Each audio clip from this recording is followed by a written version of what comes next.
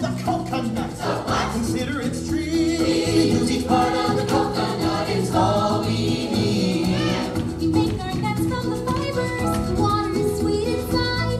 We use the leaves to build fires and cook up the meat inside. Consider the coconuts, the trunks and the leaves. The island gives us what we need.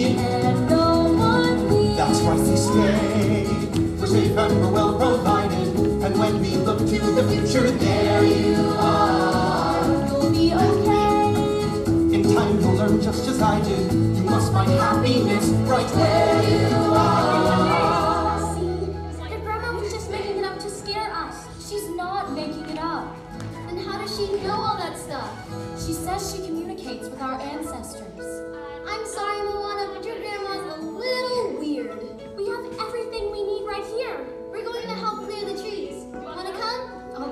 you later, okay?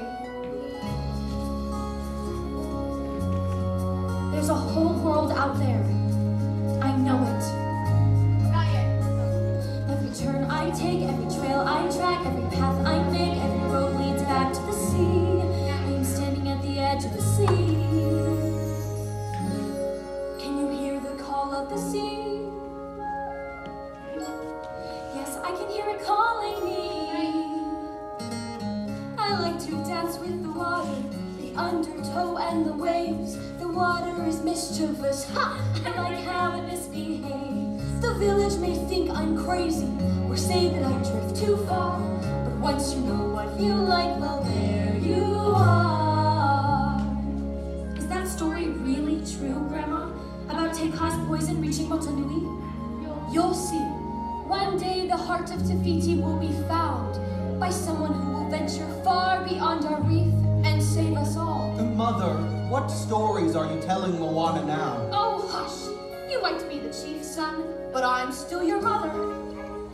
Dad, what if the answers to Motunui's problems are out there? Moana, you are the future of our people, and they are not out in the ocean. They're right here. One day soon, they'll all depend on you. It's time to be who they need you to be. To be. The village believes in us. The village believes. The island gives us what we need. And no one